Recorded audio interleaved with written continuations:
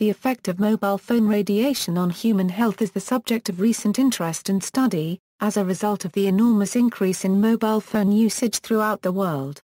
As of November 2011, there were more than 6 billion subscriptions worldwide. Mobile phones use electromagnetic radiation in the microwave range. Other digital wireless systems, such as data communication networks, produce similar radiation. In 2011, International Agency for Research on Cancer classified mobile phone radiation as Group 2B, possibly carcinogenic. That means that there could be some risk of carcinogenicity, so additional research into the long-term, heavy use of mobile phones needs to be conducted. The WHO added that to date, no adverse health effects have been established as being caused by mobile phone use. Some national radiation advisory authorities have recommended measures to minimize exposure to their citizens as a precautionary approach. Effects Many scientific studies have investigated possible health symptoms of mobile phone radiation. These studies are occasionally reviewed by some scientific committees to assess overall risks. A 2007 assessment published by the European Commission Scientific Committee on Emerging and Newly Identified Health Risks concludes that the three lines of evidence, viz animal, in vitro, and epidemiological studies, indicate that exposure to RF fields is unlikely to lead to an increase in cancer in humans. Radiation absorption, part of the radio waves emitted by a mobile telephone handset are absorbed by the body. The radio waves emitted by a GSM handset are typically below a watt. The maximum power output from a mobile phone is regulated by the mobile phone standard and by the regulatory agencies in each country.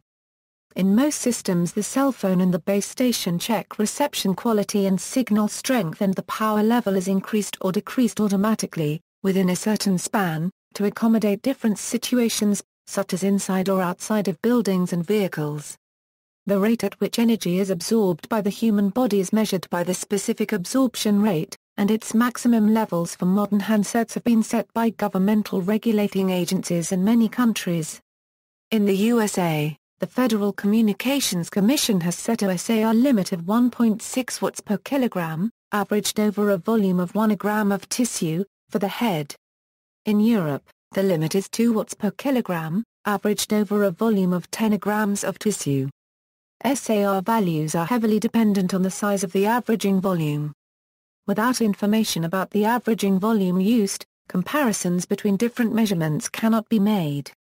Thus, the European 10-gram ratings should be compared among themselves, and the American 1-gram ratings should only be compared among themselves.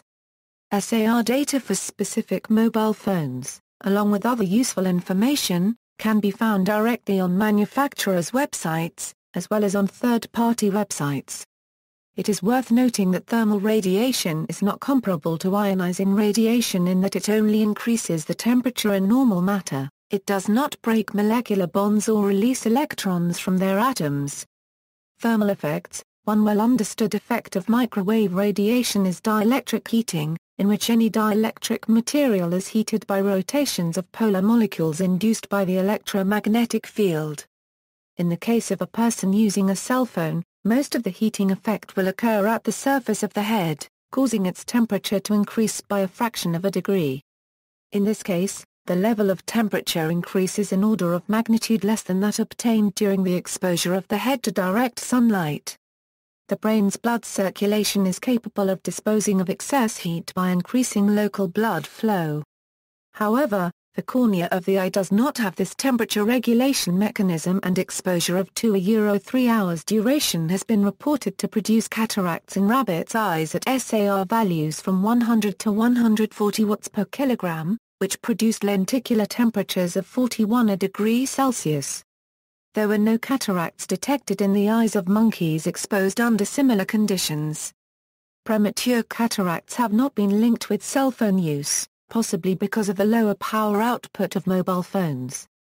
Non-thermal effects The communications protocols used by mobile phones often result in low-frequency pulsing of the carrier signal.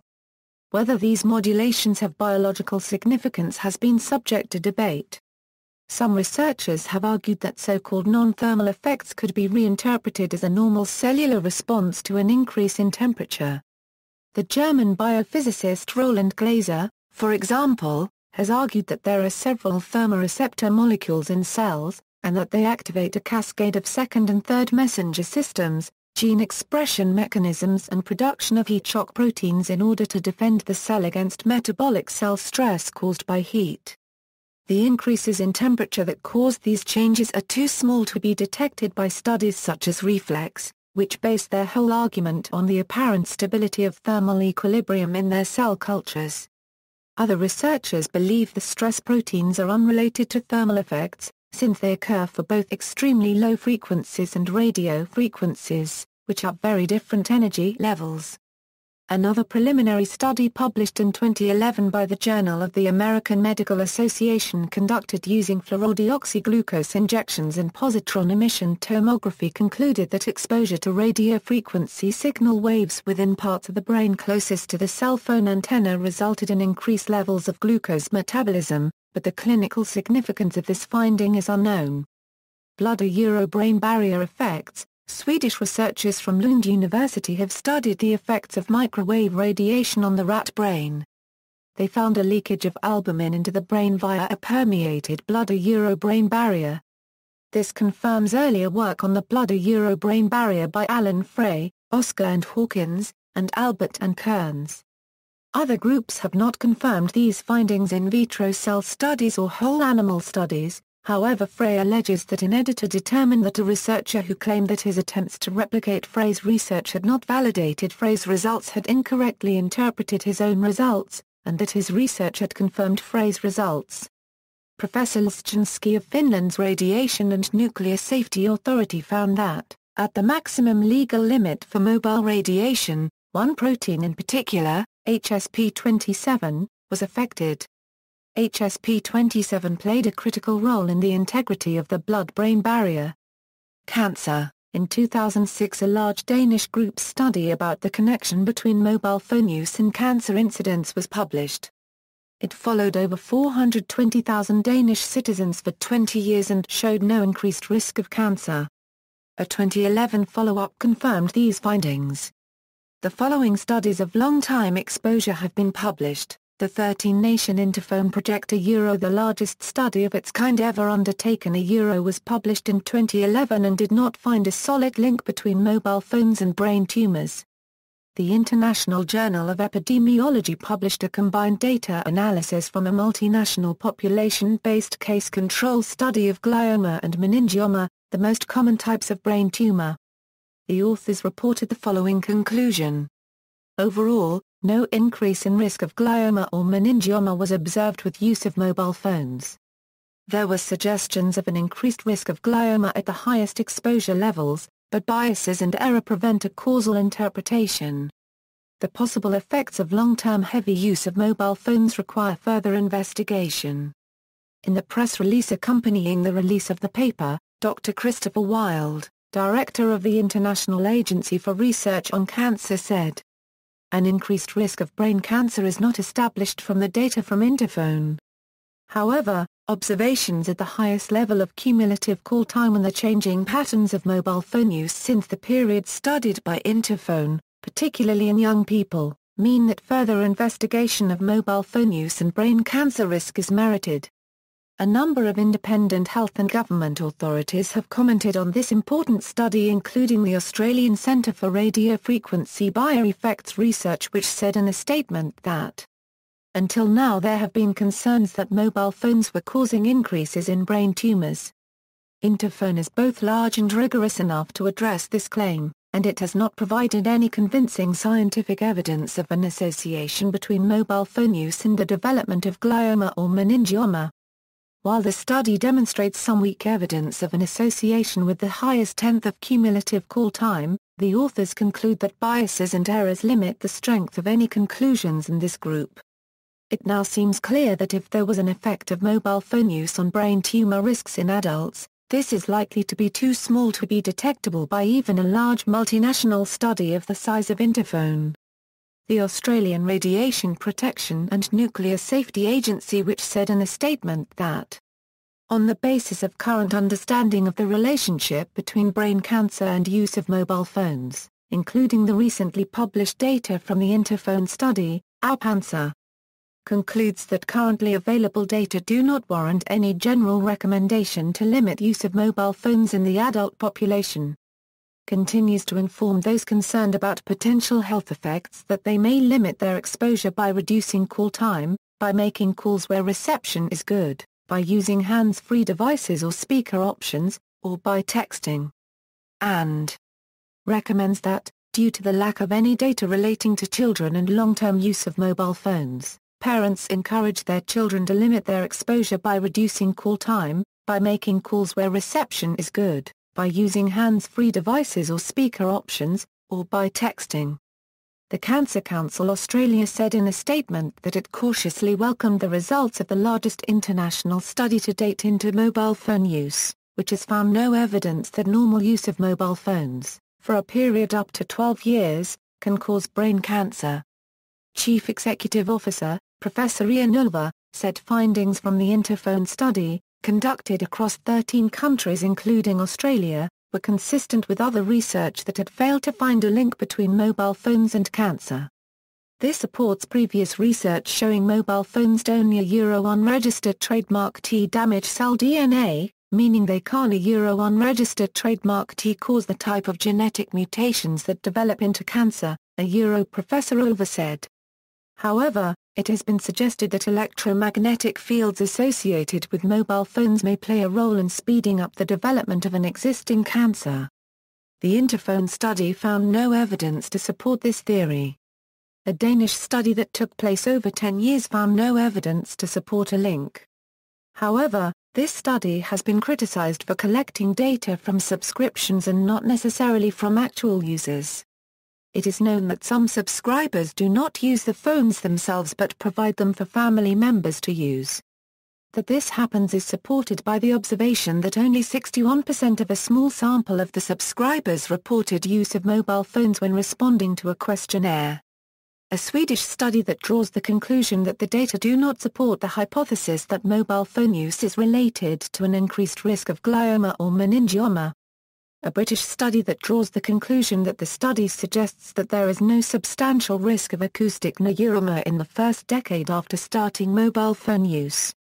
However, an increase in risk after longer-term use or after a longer lag period could not be ruled out. A German study that states in conclusion, no overall increased risk of glioma or meningioma was observed among these cellular phone users. However, for long-term cellular phone users, results need to be confirmed before firm conclusions can be drawn.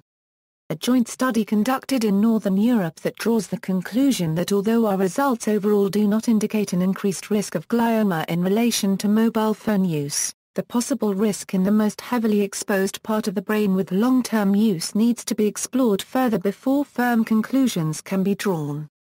Other studies on cancer and mobile phones are, a Swedish scientific team at the Karolinska Institute conducted an epidemiological study that suggested that regular use of a mobile phone over a decade or more was associated with an increased risk of acoustic neuroma, a type of benign brain tumor.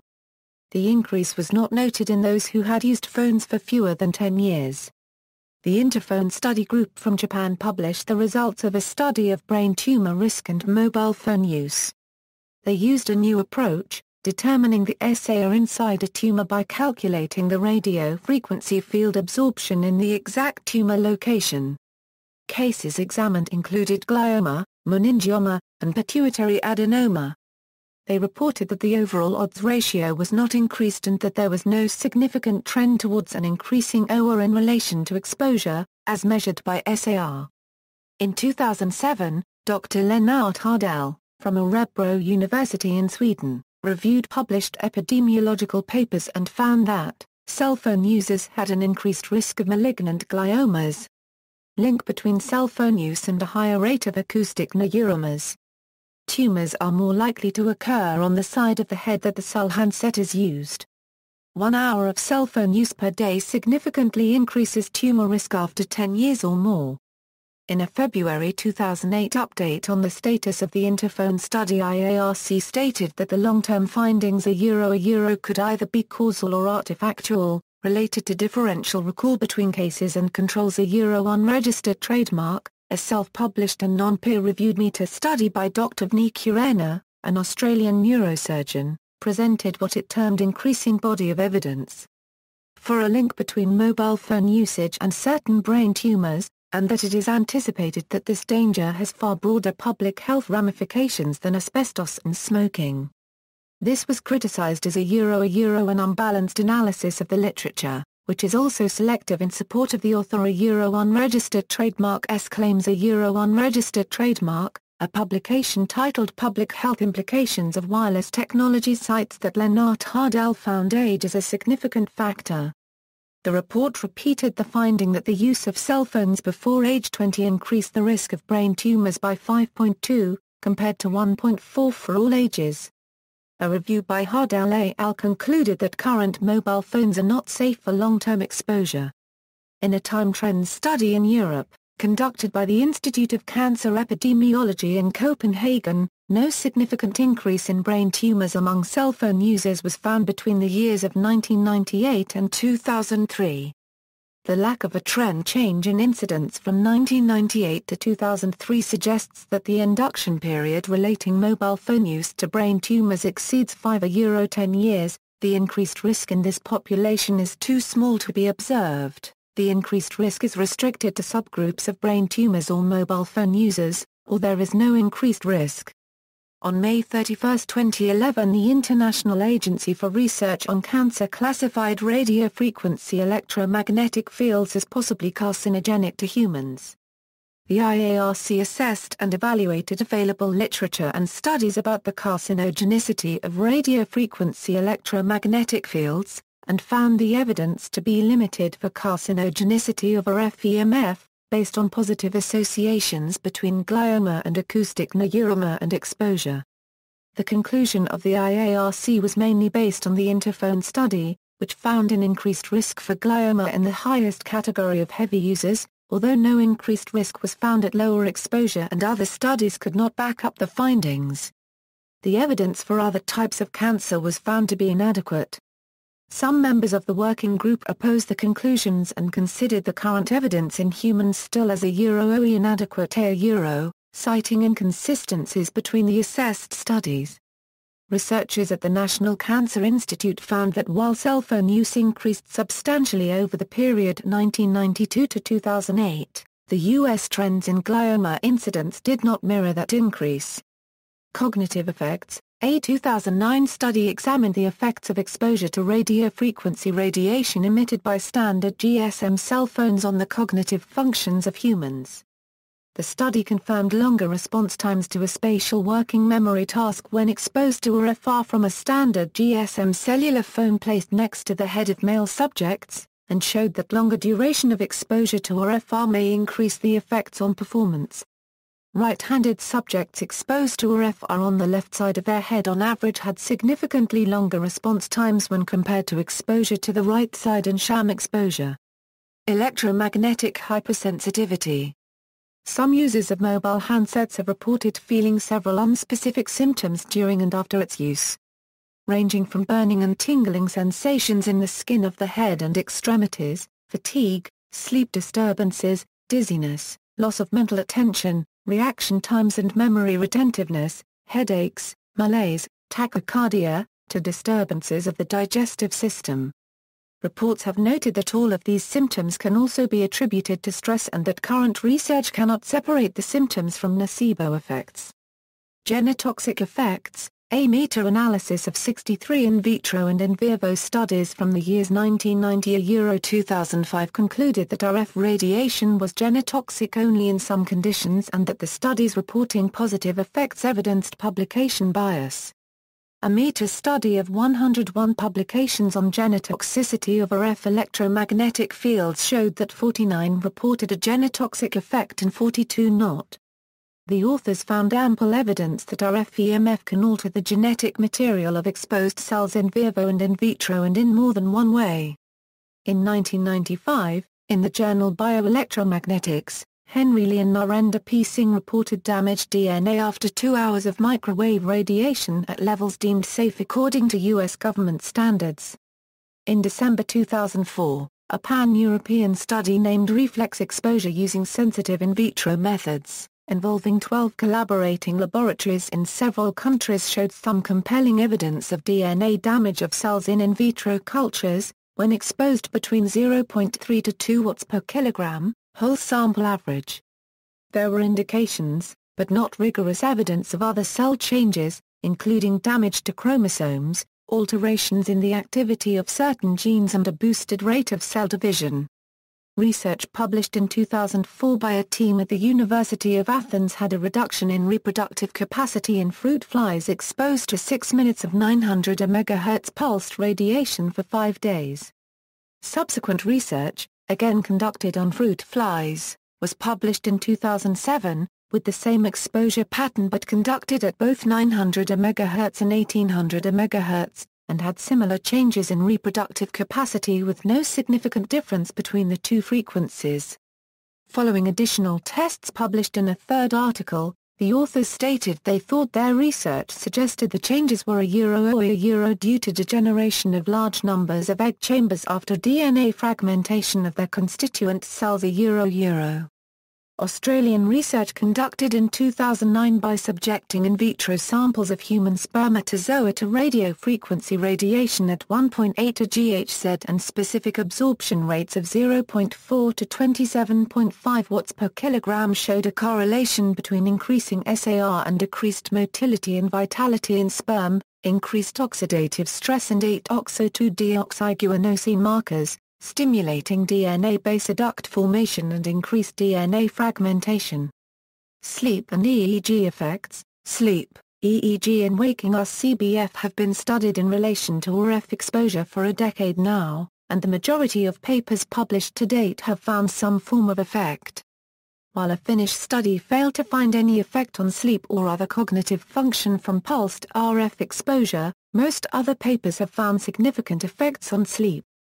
Two of these papers found the effect was only present when the exposure was pulsed, and one early paper found that sleep quality improved.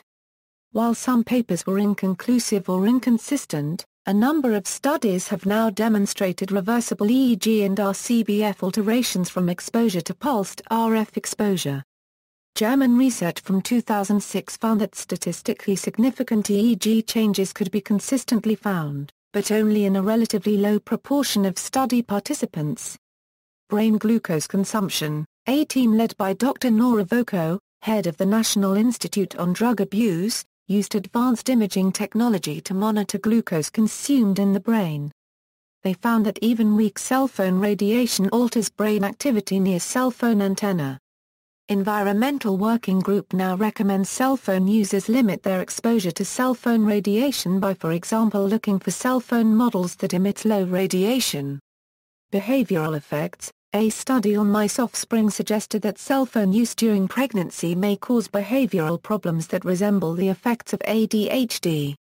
Sperm count and sperm quality a number of studies have shown relationships between mobile telephone use and reduced sperm count and sperm quality. Peer-reviewed studies have shown relationships using statistical questionnaire techniques, controlled experiments on living humans, and controlled experiments on sperm outside the body. The Environmental Working Group has a webpage entitled Cell Phone Radiation Damages Sperm, Studies Show published August 2013. The EWG page reviews and tabulates studies showing relationships between mobile phone use and low sperm count and sperm quality. Health hazards of base stations. Another area of concern is the radiation emitted by the fixed infrastructure used in mobile telephony, such as base stations and their antennas, which provide the link to and from mobile phones. This is because, in contrast to mobile handsets, it is emitted continuously and is more powerful at close quarters. On the other hand, field intensities drop rapidly with distance away from the base of transmitters because of the attenuation of power with the square of distance. One popular design of mobile phone antenna is the sector antenna, whose coverage is 120 degrees horizontally and about a 5 degrees from the vertical. Because base stations operate at less than 100 watts, the radiation at ground level is much weaker than a cell phone due to the power relationship appropriate for that design of antenna. Base station emissions must comply with safety guidelines. Some countries however have no health regulations governing the placement of base stations. Several surveys have found a variety of self-reported symptoms for people who live close to base stations. However, there are significant challenges in conducting studies of populations near base stations, especially in assessment of individual exposure. Self-report studies can also be vulnerable to the nocebo effect. Two double-blind placebo-controlled trials conducted at the University of Essex and another in Switzerland concluded that mobile phone masts were unlikely to be causing these short-term effects in a group of volunteers who complained of such symptoms. The Essex study found that subjects were unable to tell whether they were being exposed to electromagnetic fields or not, and that sensitive subjects reported lower well-being independently of exposure. The principal investigator concluded it is clear that sensitive individuals are suffering real symptoms and often have a poor quality of life. It is now important to determine what other factors could be causing these symptoms, so appropriate research studies and treatment strategies can be developed. Experts consulted by France considered it was mandatory that main antenna axis not to be directly in front of a living place at a distance shorter than 100 meters. This recommendation was modified in 2003 to say that antennas located within a 100-meter radius of primary schools or child care facilities should be better integrated into the cityscape and was not included in a 2005 expert report. The agents for la section des Arts copyright curator copyright sanitaire environnemental currently says that there is no demonstrated short-term effect of electromagnetic fields on health, but that there are open questions for long-term effects, and that it's easy to reduce exposure via technological improvements. Occupational health hazards, telecommunication workers who spend time at a short distance from the active equipment, for the purposes of testing, maintenance, installation, etc., may be at risk of much greater exposure than the general population. Many times base stations are not turned off during maintenance, but the power being sent through to the antennas is cut off, so that the workers do not have to work near live antennas. A variety of studies over the past 50 years have been done on workers exposed to high RF radiation levels.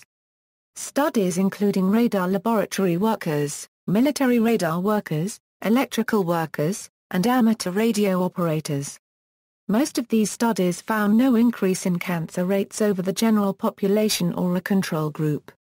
Many positive results could have been attributed to other work environment conditions, and many negative results also occurred. Safety standards and licensing In order to protect the population living around base stations and users of mobile handsets, governments and regulatory bodies adopt safety standards, which translate to limits on exposure levels below a certain value. There are many proposed national and international standards, but that of the International Commission on Non-Ionizing Radiation Protection is the most respected one, and has been adopted so far by more than 80 countries. For radio stations, ICNIRP proposes two safety levels, one for occupational exposure, another one for the general population.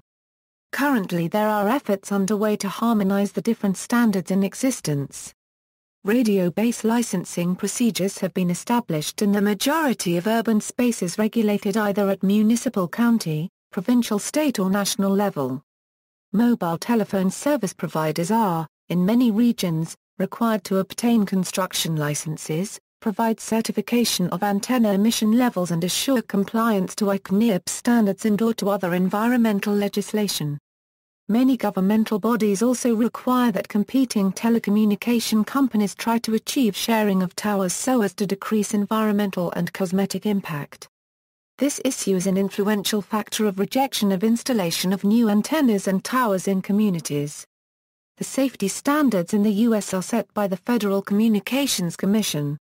The FCC has based its standards primarily on those standards established by the Institute of Electrical and Electronics Engineers, specifically Subcommittee 4 of the International Committee on Electromagnetic Safety.